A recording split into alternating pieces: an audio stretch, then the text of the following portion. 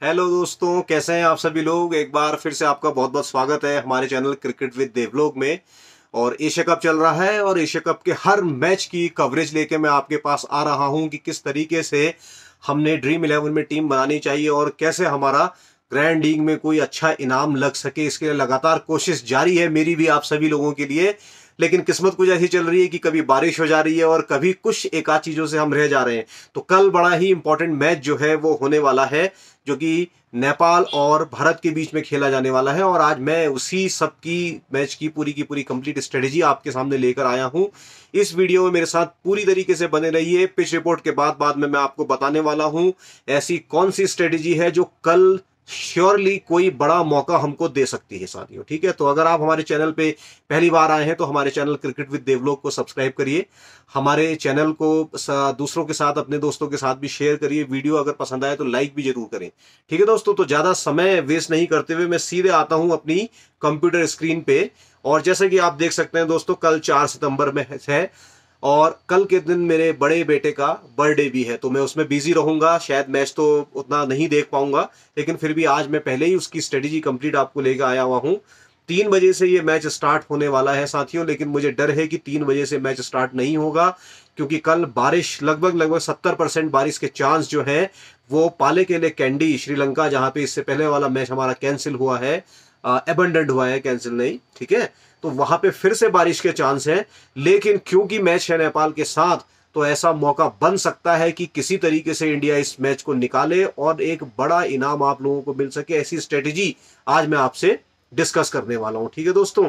तो अगर आप देख सकते हैं कि अभी तक क्या है तो पहला मैच ये दोनों टीमें पहली बार खेलेंगी। आज से पहले ये आपस में बिल्कुल भी नहीं भिड़े तो हेड टू हेड मुकाबले का कोई मतलब नहीं है। और नेपाल की बात करें तो पिछले पाँच में से चार मैच ये हार के आई है। पाकिस्तान ने बुरी तरीके से इसके हाल खराब कर दिए थे। और कल का जो इंडिया जो है आपकी, वो पाँच में से दो मैच आपके हार के आई है और दो जीत कर आई है। और एक जो लास्ट वाला अबेंडेंट रहा, ये भी अबेंडेंट हो गया अदरवाइज़ इस मैच को पाकिस्तान 40-42 ओवर में ही जीत जाता, कल की ये स्थिति थी। ठीक है दोस्तों?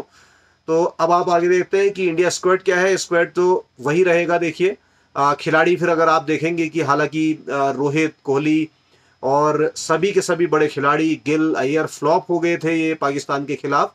और ईशान किशन और हार्दिक पांड्या ने ताबड़तोड़ पारी खेल के कुछ सम्मानजनक स्कोर बनाया था। और मुकाबले की कुछ कोशिश करी थी, लेकिन बारिश ने बचा लिया। मैं तो यही कहूँगा, बारिश ने बचा लिया, बाकी सबकी सोच अलग हो सकती है, ठीक है? तो अब की बार मुझे लगता है कि नेपाल के खिलाफ तो इतने बड़े खिलाड़ी कभी फ्लॉप नहीं होंगे। रोहित अड़तालीस का एवरेज है और तीस शतक बना चुका है। ठीक उसी तरीके से अगर आप कोहली को देखेंगे तो आप देख सकते हैं सतावन का एवरेज है, छियालीस शतक एक दिवसीय क्रिकेट में बना चुका है।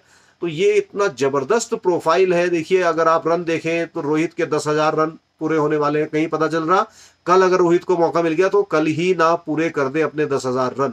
और बारह हज़ार नौ सौ रन आप देखें, कोहली के हैं तो बढ़िया कर रहा है। श्रेयस अय्यर बढ़िया शुरुआत किया हुआ है। किशन ने अपना जलवा दिखाया है आपको, हार्दिक पांड्या ने भी अपना जलवा दिखाया है। तो सारे स्टेट आपके सामने हैं। क्योंकि आप लगातार भारत का क्रिकेट फॉलो करते हैं तो आपको मालूम है कि भारत के खिलाड़ी किस तरीके से खेलते हैं और क्या इनकी स्ट्रेटेजी रहती है, ठीक है? तो ये पूरा लाइनअप वही है जो लास्ट मैच में खेला हुआ था। तो शुरू के जो आप देखेंगे हमारे, ये चार बल्लेबाज तो फ्लॉप रहे थे। किशन ने बहुत बढ़िया काम किया था, हार्दिक ने बहुत बढ़िया काम किया था। जडेजा को बॉलिंग का मौका मिला नहीं, बाकी किसी को बॉलिंग का मौका मिला नहीं, बल्लेबाजी में ये लोग कुछ कर नहीं पाए थे, ठीक है दोस्तों? तो ये आप ध्यान में रखेंगे, ज़्यादा इंपॉर्टेंट इनके स्टेट नहीं है। आगे आने वाले समय में जो मैं स्ट्रेटेजी बताने वाला हूँ, वो इंपॉर्टेंट है। और अगर आप प्रदर्शन देखें लास्ट मैच में Rohit flop 11 run, Gill flop 10 run, Kohli flop चार रन। हालाँकि कोहली ने एक बाउंड्री इतनी ज़बरदस्त ज़बरदस्त कवर ड्राइव मारा था कि मुझे लग रहा था कि आज तो ये काम करता है, लेकिन फिर इसका खुद का ही काम हो गया। अय्यर बड़ा अटैकिंग खेल रहा था, लेकिन वो सीधा एक हाथ में शॉट पुल कर बैठा, ठीक है? तो हाथ में ही चला गया सीधे। इसके बाद किशन ने दिखाया, और किशन को अगर आपको याद हो तो 2003 के वर्ल्ड कप का हम्म, जो अख्तर के ऊपर जो छक्का मारा था सचिन तेंदुलकर ने पॉइंट के ऊपर से है कवर के ऊपर से तो आप इसको देख सकते हैं ठीक है? तो वैसा ही शॉट लगभग लगभग किशान किशन ने भी मारा था। हार्दिक पांड्या ने सत्तासी रन बनाए थे। इन दोनों के अलावा कोई कुछ नहीं कर पाया था बॉलिंग का मौका किसी को मिला नहीं ठीक है? लेकिन कल के मैच में ऐसा नहीं होने वाला है। इसके बाद अगर आप बात करते हैं ये इसका रिज़र्व है रिज़र्व की ज़रूरत मुझे बहुत ज़्यादा नहीं। रिज़र्व की ज़रूरत फिर यहाँ से कोई खिलाड़ी नहीं आएगा इसको छोड़ सकते हैं। नेपाल का स्क्वाड अगर आप देखेंगे तो नेपाल में आ, के स्क्वाड में अगर आप देखें तो देखिए 22 का एवरेज कौशल बुरतेल का ठीक है? और उसके बाद 30 का एवरेज आसिफ शेख का। तो आसिफ शेख ने कल भी कुछ थोड़े बहुत रन बनाने की कोशिश ज़रूर करी थी लेकिन कुशल बुरतेल नहीं चल पाया था। और जिस तरीके से बारिश हो रही है ना और इंडिया अगर पहले टॉस जीत के बल्ले जो है आपकी अगर फील्डिंग करती है वैसे रोहित की स्ट्रेटेजी होनी यही चाहिए कि फील्डिंग करे कल क्योंकि इसका एडवांटेज है ठीक है? तो ये मुझे लगता नहीं कि ये बल्लेबाज टिक पाएँगे बहुत ज़्यादा। तो 30 और 31 का एवरेज अगर आप देखेंगे तो आसिफ शेख और रोहित पौडेल का ही देख रहा है। और एक एक शतक भी इन दोनों ने बनाया है। हालाँकि शतक तो बुरतेल ने भी बनाया हुआ है, ठीक है? लेकिन मुझे लगता नहीं कि ये हमारे सामने इतना टिक पाएँगे। कोई एक टिक गया तो ठीक है। बाकी आरिफ शेख, आप देखें 25 का एवरेज है, बहुत ज़्यादा इफ़ेक्टिव नहीं। सोमपाल कमी ने बढ़िया प्रदर्शन किया है पिछले मैच में, अगर आप देखेंगे। तो आप इसको ज़रूर रख सकते हैं अपनी टीम में आपकी पिक रहेगा गुलशन झा ने एक विकेट निकाला था? हम्म? इसके अलावा दीपेन एरी को ये लोग लगातार खिलाते हैं क्योंकि इसका रिकॉर्ड बढ़िया है आप देखें आ, ये विकेट निकाल सकता है पाँच बार एक एक विकेट ये आपका एक शतक बना चुका है और इसके साथ साथ ये तीन अर्धशतक भी बना चुका है ठीक है और इसके अलावा आपके कुशल मल्ला वगैरह है लेकिन लमी छामे इनका एक एक्सपीरियंस बॉलर है लेकिन भारत के खिलाफ ये स्पिनर कितना कारगर साबित होगा ये देखने वाली बात है, क्योंकि पाकिस्तान के खिलाफ तो ये कारगर साबित नहीं हुआ था। करण छेत्री एक इनका अच्छा खिलाड़ी है। तो आप देखिए कॉम्बिनेशन क्या रहेगा, मैं आपको पहले बता दूँ। आप सात चार के कॉम्बिनेशन से चलिएगा। वैसे आप चाहे तो आठ तीन के कॉम्बिनेशन में भी चल सकते हैं। तीन नेपाल के खिलाड़ी, आठ इंडिया के खिलाड़ी। लेकिन मेरा मानना है कि सात इंडिया के और चार नेपाल के, क्योंकि नेपाल की बल्लेबाजी आएगी तो कुछ ना कुछ पॉइंट ज़रूर देंगे और हमारे पीछे खेलने वाली जो बल्लेबाज है, इनकी बल्लेबाजी नहीं आएगी। तो ईशान किशन को कल रखना ठीक नहीं है, क्योंकि उतने पीछे तक नेपाल हमारे विकेट शायद नहीं गिरा पाएगा। ठीक है? ललित राजवंशी बिल्कुल ही बेकार रहे हैं, हालाँकि इक्कीस मैच में अट्ठाईस विकेट इन्होंने लिए हुए हैं, लेकिन ये कुछ कर नहीं पा रहे हैं विशेष ऐसा। तो टीम बहुत ज़बरदस्त दिख नहीं रही है, सिर्फ़ सोमपाल कमी, करण छेत्री, और ऊपर से देखें तो रोहित पौडेल और आसिफ शेख। इसके अलावा कुछ नहीं यही चार है। और अगर आप ज़्यादा टीम से खेल रहे हो ऑब्वियसली क्योंकि चांसेस ज़्यादा हैं इसमें जीतने के तो आप आ, मेरे हिसाब से दस टीम बीस टीम से भी खेलेंगे। तो इसमें आप सात इंडिया के रखें और इनके चार चार करके रिपीट करके सारे खिलाते चले। बहुत बढ़िया चांस है कल ग्रैंड लीग जीतने का लोगों। याद इस चीज़ को आप ज़रूर ध्यान रखिएगा। और ये इनका रिज़र्व है रिज़र्व में भी ऐसा कुछ इफ़ेक्टिव है नहीं सारा का सारा डेटा आपके सामने पड़ा हुआ है। ज़रूर भीम शिरकी को ये सोच सकते हैं क्योंकि सत्रह मैच में चार सौ बावन इसके रन है जो कि सतहत्तर रन और, और चौतीस का एवरेज है। इसका तीन अर्धशतक बना चुका है। तो शायद शिरकी कहीं पे एक जगह ले ले अपनी ऐसा हो सकता है। इसके अलावा कोई और खिलाड़ी नेपाल में ऐसा दिख नहीं रहा है ठीक है? नया नया क्रिकेट खेलना स्टार्ट कर रहा है। इंटरनेशनल क्रिकेट में चलो एशिया कप में आप आ रहा है। तो बहुत ज़्यादा इसमें जान है नई टीम में। और पिछले मैच का प्रदर्शन भी अगर आप देखें तो बुरतेल फेल था आठ और ज़ीरो। हम्म, आसिफ शेख पाँच बनाए fail. Rohit Paudel zero fail. Arif Sheikh ने ज़रूर 26 रन बनाने की कोशिश करी थी इसने 26 रन बनाए हैं। सोमपाल कमी ने 28 विकेट और दो विकेट लिए हैं। अट्ठाईस रन और दो विकेट लिए हैं। गुलशन झा अच्छा विकेट नहीं लिया था तेरह रन बनाए थे इसने। ठीक है ये इनका लास्ट मैच का प्रदर्शन है तो ये भी फ्लॉप ही रहा है। इसके अलावा एडी भी छह और ज़ीरो फ्लॉप रहा कुशल मल्ला छह ज़ीरो फ्लॉप रहा। लमी छामे ने एक विकेट निकाला था और करण छेत्री ने एक विकेट निकाला था। तो लमी छामे विकेट निकाल चुका है। अच्छा मैंने मैंने बताया था कि शायद नहीं निकाला। चलिए, यहाँ दिख रहा है साफ़ साफ़ कि इसने विकेट निकाला हुआ है। ठीक है? तो इस तीन चार खिलाड़ी से ज़्यादा इसके लेने की ज़रूरत नहीं है और इनका रिज़र्व भी बहुत ज़्यादा स्ट्रॉन्ग नहीं है। ठीक है? इसके अलावा आप इसको देख सकते हैं सारे के सारे खिलाड़ी खेले कोई नहीं है। ठीक? इसके बाद आगे चलते हैं बॉस अगर पिच रिपोर्ट की बात करते हैं तो बैलेंस्ड विकेट है, लेकिन यहाँ पे पिच रिपोर्ट जो है एक बेमानी रहेगी, ठीक है?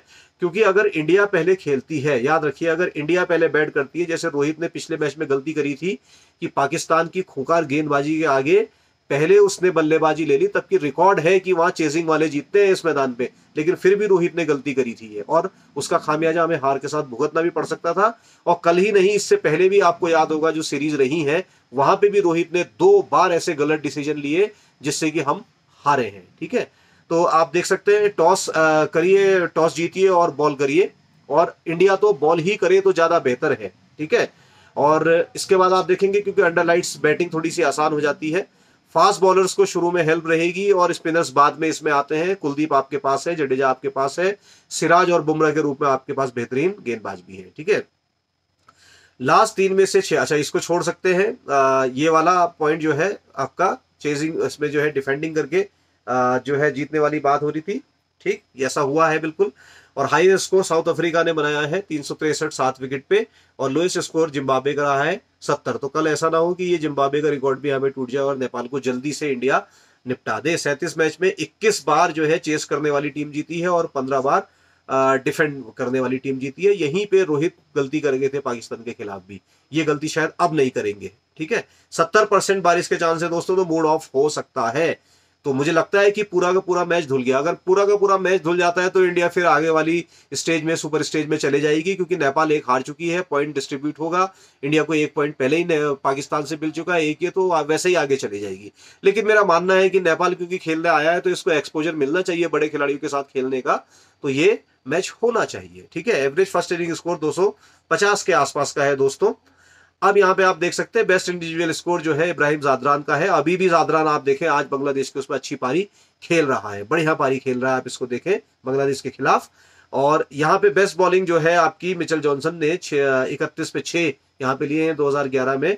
और दिलशन ने नौ रन सबसे ज़्यादा बनाए हैं। मलिंगा ने 24 विकेट लिए हैं 70 परसेंट बारिश के चांस है। तो ये चीज़ें आप ध्यान में रखेंगे दोस्तों। अब आते हैं, देखिए, ये टीम सिलेक्शन कैसे करना है। तो यहाँ पे सबसे इंपॉर्टेंट बात दोस्तों समझने वाली है, आप इस बात को मेरी समझिए मैं क्या कहना चाह रहा हूँ। क्योंकि देखिए, बारिश पड़ी हुई है और बारिश पड़ी है तो वहाँ पे नमी लगातार रहेगी और आपने देखा है कि पाकिस्तान की तेज गेंदबाजों ने कितनी ज़बरदस्त गेंदबाजी भारत जैसी ज़बरदस्त बैटिंग लाइन को करा के आउट कर दी थी। हालाँकि मैं फिर कह रहा हूँ कि हमारी गेंदबाजी इतनी स्ट्रांग नहीं जितनी की पाकिस्तान की है, लेकिन फिर भी बुमराह और सिराज ये दो बहुत बेहतर आपके गेंदबाज हैं जो कि जो कि नेपाल को पूरी तरीके से ध्वस्त करने की क्षमता रखते हैं। तो इसमें कौन सी कंडीशन क्या बनेगी? देखिए, क्या है?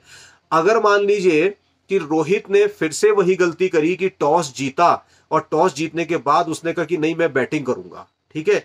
तब तो पहली वाली कंडीशन बनती है दोस्तों। रोहित शर्मा को ही हम कप्तान बना देंगे। और गिल को हम वाइस कप्तान बना देंगे। और ये दोनों ही मुझे लगता है शतक मारकर ढेर सारे पॉइंट ड्रीम इलेवन में आपको दे जाएँगे। और अगर उसके बाद कोई एक आध विकेट हिटिंग करने में गिरता है तो कोहली आपका बाकी का काम करेंगे। आप देखें, मैंने इसमें अय्यर को भी नहीं लिया है और मैंने इसमें आपका किशन को भी नहीं लिया, क्योंकि इतनी पीछे तक शायद तीन विकेट से ज़्यादा ये हमारे गिरा भी नहीं पाएगी। ठीक? तो जब सारे ही रन ये बना देंगे तो बॉलिंग मैंने यहाँ बहुत स्ट्रॉन्ग कर ली है। देखिए, सिराज मैंने ले लिया, कुलदीप मैंने ले लिया बुमराह मैंने ले लिया, जडेजा मैंने ले लिया, हार्दिक मैंने ले लिया। अब आप इसमें एक चेंज कर सकते हैं, चाहे तो अपने हिसाब से कि आप इसमें फ़र्स्ट चेंज बॉलर की जगह किसी एक को माइनस करके, जैसे मान लीजिए जडेजा माइनस कर दिया आपने, इसकी जगह आप ठाकुर को भी ले सकते हैं, क्योंकि शार्दुल ठाकुर जो है वो कभी कभी ऐसी चमत्कारी गेंदबाजी भी कर जाता है कि पाँच पाँच विकेट भी खा जाता है। लेकिन ये तब की बात है जब इंडिया पहले बैटिंग करती है। लेकिन इंडिया बैटिंग पहले नहीं करेगी। नेपाल अगर जीतेगी तो वो पहले बैटिंग करेगा टॉस करके बैटिंग ले लेगा, ठीक है? और अगर रोहित जीतेगा तो रोहित अब की बार, क्योंकि देखिए, बारिश के चांस है, डकवत लुइस ने ही इसमें सारा का सारा रोल प्ले करना है। तो रोहित क्या चाहेगा कि टॉस जीते और टॉस जीतने के बाद जल्दी से नेपाल को समेट दे। वो चाहेगा सौ एक रन पे समेट दे। और सौ एक रन पे अगर समेट देते हैं तो उस केस में आप देखें, टीम टू आ जाती है। बुमराह को मैं कप्तान कर देता हूँ, सिराज को मैं वाइस कैप्टन कर देता हूँ, और तीन, दो स्पिनर के साथ तीसरा हार्दिक हमारे पास हो जाता है। और आप चाहें तो यहाँ पर इंट्रोड्यूस कर सकते हैं शार्दुल ठाकुर को भी। ठीक है तो जब यही सब कुछ उधेड़ के बराबर कर देंगे, नेपाल को लुढ़का देंगे, और सौ डेढ़ सौ का स्कोर चेस करना होगा तो इन तीनों के अलावा मुझे चौथे की ज़रूरत पड़ेगी ही नहीं। और जब चौथे की ज़रूरत नहीं पड़ेगी तो यहाँ से अच्छे स्कोर बॉलर भी आपको दे जाएँगे और ये भी शुरू में फटाफट फटाफट स्कोर आपको दे जाएँगे। आपने करना क्या है कि जैसे यहाँ पे आसिफ शेख मैंने रखा हुआ है और यहाँ पे मैंने आपका एरी रखा है, यहाँ पे मैंने कमी रखा है प्रदर्शन के हिसाब से। अगर आप ज़्यादा टीम बनाते हैं तो इंडिया के तो ऐसे ही खिलाड़ी रखिए, भाई इनको चेंज कर दीजिए। आसिफ की जगह कहीं पे आरिफ ले लीजिए, आरिफ की जगह कहीं पे रोहित पौडेल ले लीजिए, है, और कहीं पे आपका कुशल भुट्टेल ले लीजिए, लेकिन तीन से ज़्यादा खिलाड़ी कभी भी मत रखिएगा इनके। इस स्ट्रेटेजी से चलेंगे तो मुझे लगता है कि एक बड़ा इनाम कल आपका, हमारी टीम का जो है, लग सकता है। हमारी टीम का मतलब आप सब जितने मेरे इस समय वीडियो देख रहे हैं या जो फॉलो कर रहे हैं चैनल को, वो सब मेरी टीम ही है।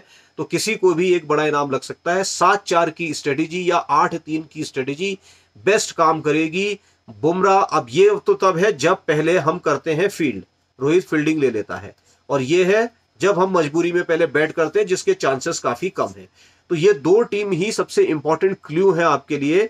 तीसरे केस में मैंने फिर क्या किया है कि यहाँ पे मैंने रोहित कोहली को और आपके रोहित को, इन दोनों को मैंने कैप्टन वाइस कैप्टन कर दिया है। और मैं ऐसा मान रहा हूँ कि ऐसा भी हो सकता है कि बुमराह सिराज जितने भी आपने ये ले रखे हैं, ये बल्क में ढेर सारे विकेट तो ना ले।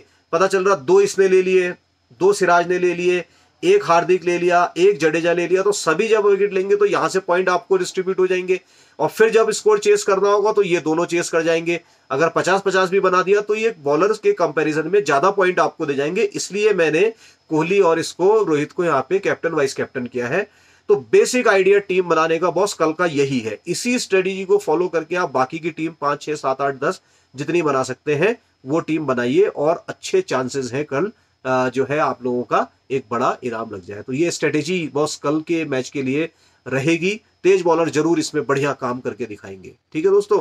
तो अगर ये वीडियो आपको पसंद आया है तो वीडियो को लाइक करना ना भूले और अपने दोस्तों के साथ शेयर भी करिए। हमारे चैनल क्रिकेट विद देवलोक को सब्सक्राइब भी करिए, क्योंकि मैं सिर्फ़ ड्रीम इलेवन के प्रडिक्शन ही नहीं, समय मिलने पर जब ये आपका ड्रीम इलेवन के प्रडिक्शन नहीं होते हैं मैच नहीं हो रहे होते हैं तो मैं क्रिकेट से जुड़े हुए बहुत ही रोचक तथ्य भी आपके लिए लेकर आते रहता हूँ।